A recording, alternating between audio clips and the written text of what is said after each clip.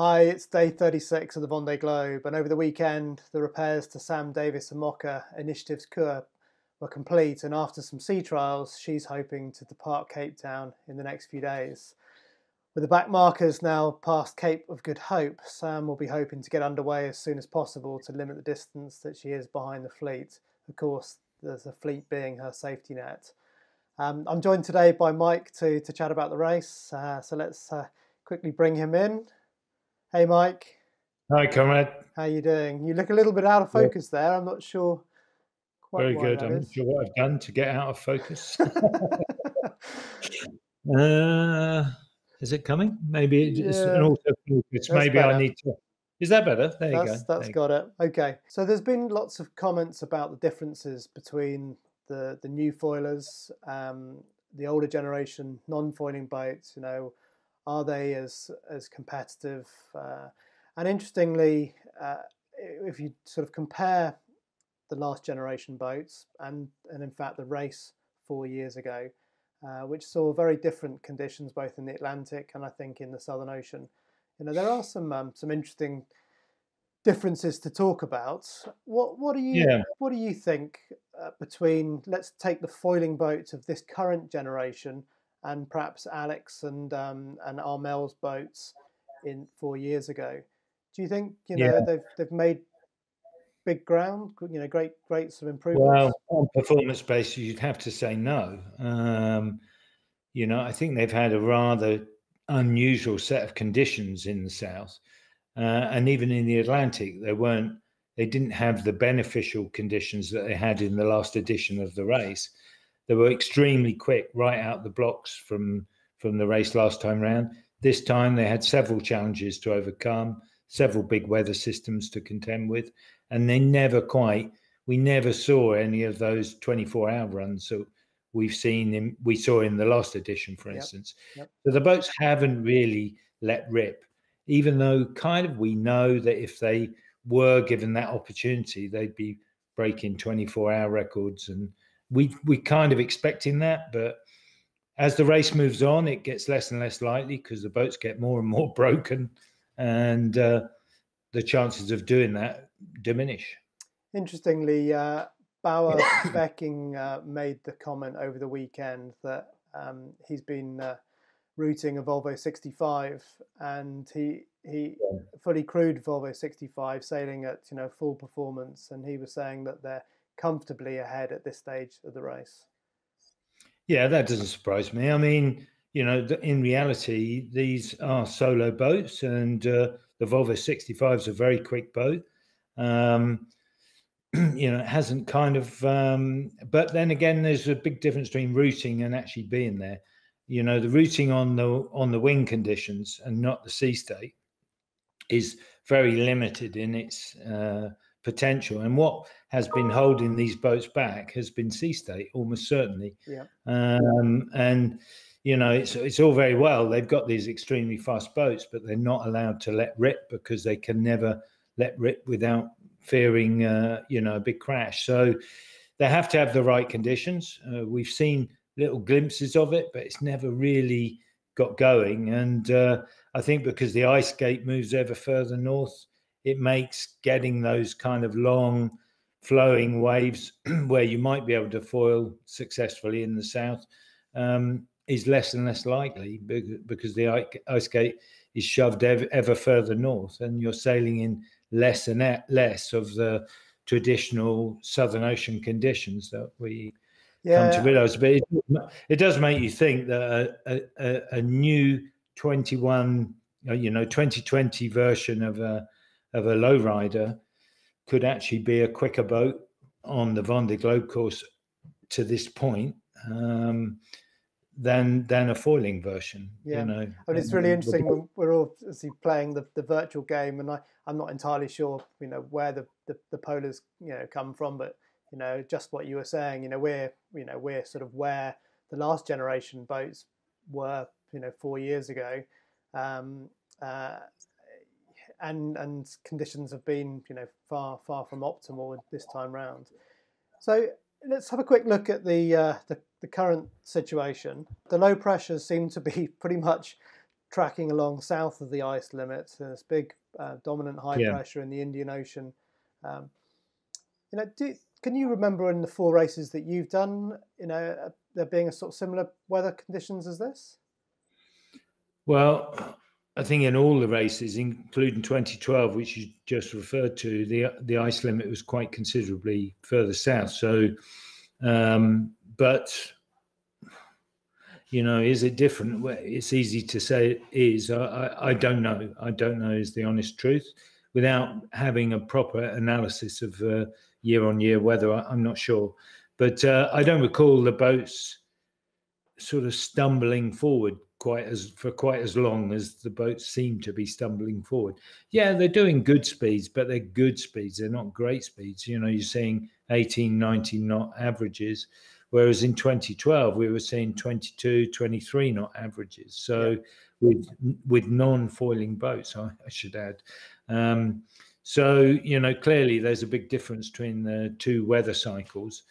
But um, where the class goes now will be very telling. And you know, it does seem to me that the boats from the last edition were potentially better compromises, and I, use that word advisedly, better compromises than the newer generation, more foiling optimized boats, uh, which seem to suffer.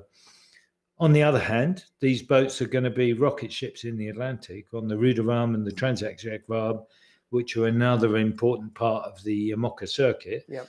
Um, these boats are going to be monstrously quick and they will break records. So, you know, when you build an IMOCA boat, you build it for the Vendée, and but you also build it to take part in the other races that keep the circuit alive in the in between years.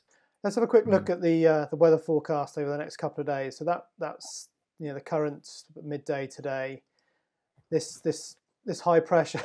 It's a little bit like the uh, the high pressure around Cape Town. Just sort of seems to follow the fleet round, and as it loops uh, across. And I think we may see a big gap opening up between the first three boats who just hang into this um, pressure system, and then the, the, the boats behind just getting trapped by this this high high pressure system. Uh, I think by by Wednesday we may see five, six, seven hundred mile distance between these uh, these two groups. For sure. Yeah, yeah. It's it's a difficult set of weather. They're kind of pinned, aren't they? They're pinned against the line. They're- they're- they're- that's right, and no nowhere really to go. What what what what about Armel Tripon's uh, but he's obviously made you know some good ground in the last last week. Um, you know, Yeah, he could make a big catch up here. You know, Uh, it, it certainly looks that way. Do you think his boat's a bit more sort of optimized for the south compared to you know the, the front? It's difficult to know because Armel had the foils that were not dissimilar from the Hugo Boss type foils, which should give him a boat with very good downwind speed. So, but I think, as is the case with all these boats, the difficulty is it might have the capability of very high, good downwind performances, but can you deploy it in the sea state? And I think one of the problems about being further north, you just have to look at the weather chart you've got up now.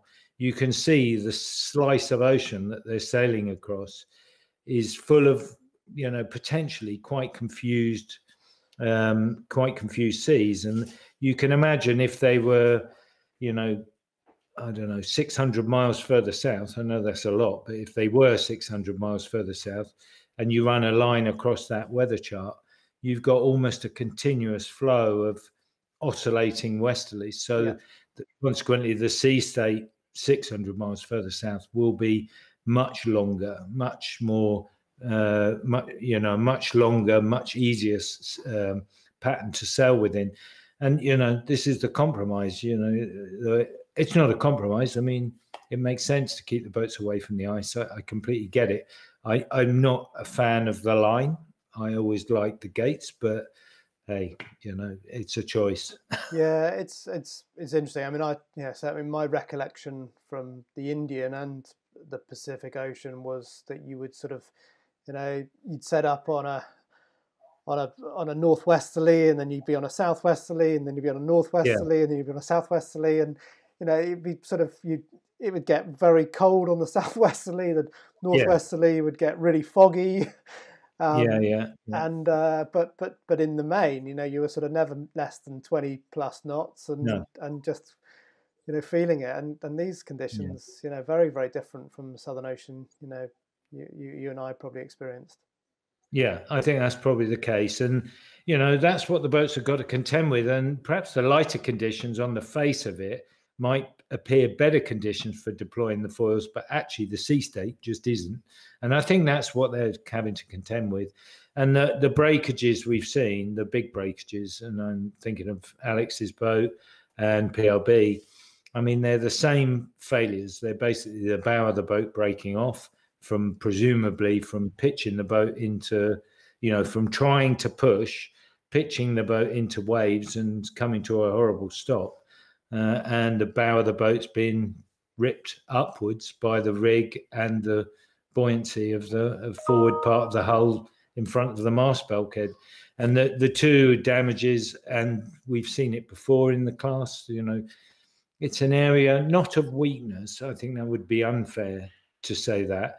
But it's an area where you're trying to minimize the amount of structure because you're trying to keep the boat light.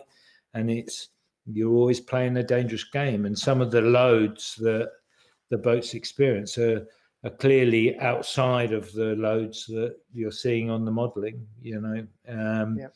And as a consequence, the boats are breaking. And, you know, it can fix those things. These things can be fixed. But um, for the next edition. yeah, yeah, yeah. Well, it's a it's a good point to to say that these boats are also you know built for a circuit, and the circuit involves a you know a whole myriad of Number different of conditions.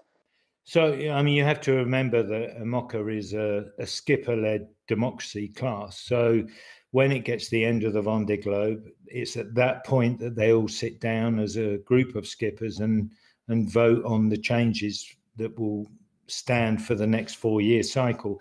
This system has worked extremely well for the class. And the question remains as to what big changes will they make. I mean, obviously, there will there's only so many things you can mandate against. But one of the things that has been discussed is the inclusion of uh, T-foils on the rudder. Well, you know, T-foils on the rudder will make the boat more controllable, but it might actually make that accidents, the crashes, the things that have broken bows off, uh, even worse, even harder. And if you don't have a T-foil electronically controlled, um, it's probably more prone to accident. And if you do have it electronically controlled, it's going to, it's going to be prohibitively expensive. So I think on balance, they'll probably say, look, we've gone a long way. We're learning let's keep going the direction we're going. They have to protect the boats and the sponsors that have made huge huge investments in the class, yep. and I think that's right. And so you don't want to suddenly go backwards and remove the foils. They might choose, it might be a good choice, to limit the length of the foil uh, mm-hmm. and to have some absolute limit on the foil to minimize the amount of righting moment they can create. Uh, and you know that might be a sensible way of stopping the boats growing foils because effectively an IMOCA is a an unevolved uh, multi-hull. It's an unevolved trimaran. Yeah. And if yeah. you don't watch out, those foils are going to get bigger and bigger, and uh, yeah. it's just all going to get a bit out of hand. So that was Mike Golding. It was great to get his thoughts on the foilers v lowriders and the challenges the IMOCA class faces going forward. We're back on Wednesday when all eyes will be on Samantha Davies as she hopes to set sail from Cape Town and rejoin this great adventure. See you then.